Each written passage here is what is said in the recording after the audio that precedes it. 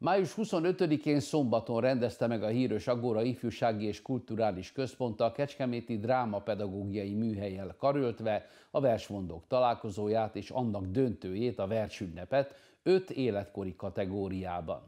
A 95 éve született Kányádi Sándorra emlékezve megrendezett találkozóra az idén már 28. alkalommal került sor.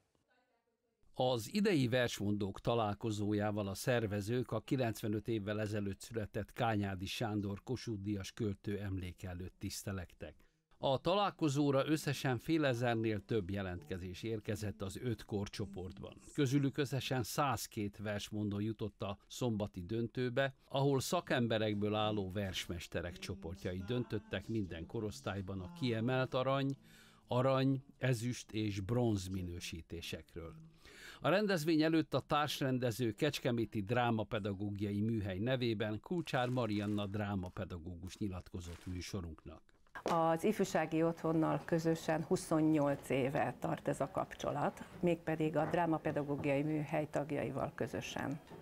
Mi tartja életben 28 éven keresztül? Hát egyrészt a szakmai elhivatottság, olyan kör alakult ki, akik barátokká váltak az idők folyamán, és nagyon fontos számukra ez a fajta tevékenység.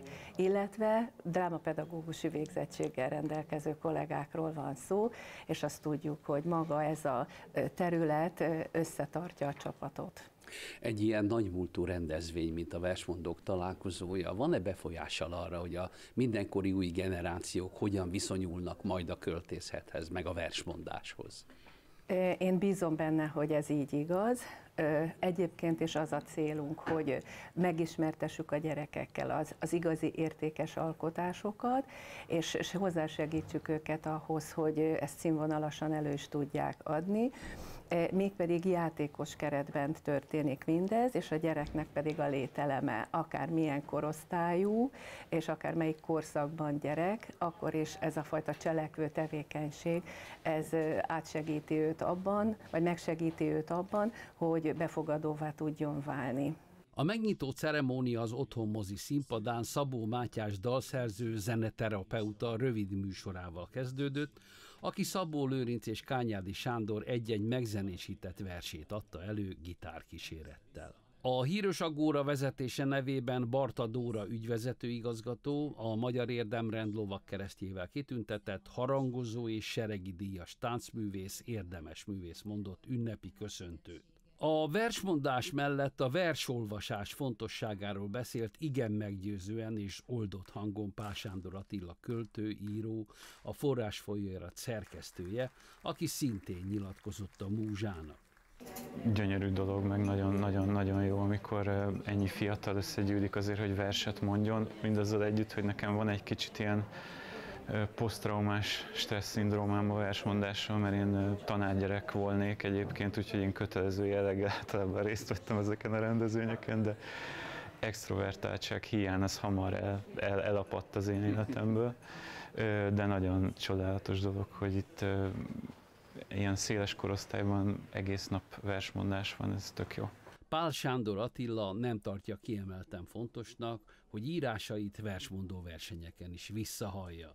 Én annyira nem, nem tudom, nem ambicionálom, vagy valahogy nyilván ez összefüggésben van azzal is, hogy átalakult az egész dolog mind, nem kezdeném el Ádámtól Évától, de az egész irodalom, ahogy a verbalitásból átment abba, hogy olvassuk, most már is főleg magunkban olvasunk, de nagyon jó, amikor így föltámasztják, meg hát ahhoz, ahhoz azért inkább ilyen, hogy mondjam, formaversek, csengő, bongó, szép szövegek kellenek, és az enyémek azok inkább ilyen szabad, szabad versek. Fontos-e, hogy legyenek versolvasó, mi több versmondó emberek? Szerintem nagyon fontos, igen.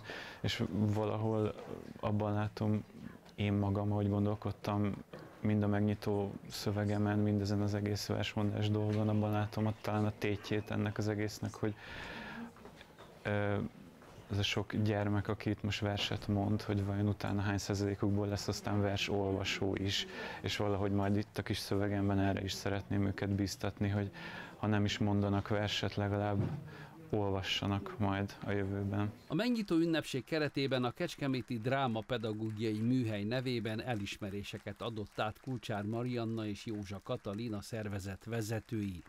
Felkészítő tanári díjat kapott Gerzsenyiné Danku Tünde, a Kálmán Lajos óvoda Széchenyi városi tagóvodájának óvónője. Versmondó diák díjjal ismerték el a 11. osztályos református gimnáziumi tanuló Telekes Kristóf eddigi munkáját, aki első osztályos kora óta folyamatosan aktív résztvevője volt a versmondó találkozóknak, de az idei évvel már az utolsó korcsoportból is kinő. A díjak átadását követően Kulcsár Marianna drámapedagógus még ráhangolta a résztvevőket az előttük álló feladatra, majd az egyes korosztályok elvonultak a zsűrik kíséretében az ifjúsági otthon különböző termeibe, hogy bemutassák a döntőre hozott produkcióikat. A szervezők minden korosztályban lehetőséget teremtettek rá, hogy a versmondók kiválasszák maguk közül a közönségdíjas produkciót. A versünnep résztvevői számára a továbblépés segítendő, további versenyeken való indulási lehetőségeket kínáltak fel a szervezők, illetve a verseny támogatói. Az 5., 6. és a 7., 8. korosztály ez a rendezvény csatlakozik az országos regősök húrián vers és prózamondó versenyhez, és az itt kiemelt aranyat és aranyat elért versmondók, azok bejutnak az országos döntőbe, illetve a harmadik, negyedik osztályosok számára pedig egy válogató történik, mégpedig az MTV a kettőnek a Rímelő című műsorában kapnak fellépést és szereplési lehetőséget. És arról nem beszélve, hogy a Kecskeméti TV mindig támogat bennünket, és a kiemelkedő versmondók lehetőséget kapnak arra, hogy szerepelhessenek. A középiskolások számára pedig meghívás történik a Latinovics vers és prózamondon, ami szintén egy országos verseny. Tehát így, így módon a Versmondók Egyesülete támogatja a mi rendezvényünket. Az eseményt számos szülő és hozzátartozó is élénk figyelemmel követte. Az eredmények kihirdetését, a jutalomkönyvek és különdíjak átadását követően a versmondóknak lehetőségük volt személyesen is véleményt kérni a zsűrik tagjaitól. A legsikeresebb versmondókat rövidesen láthatják és hallhatják a Kecskeméti televízió műsorában.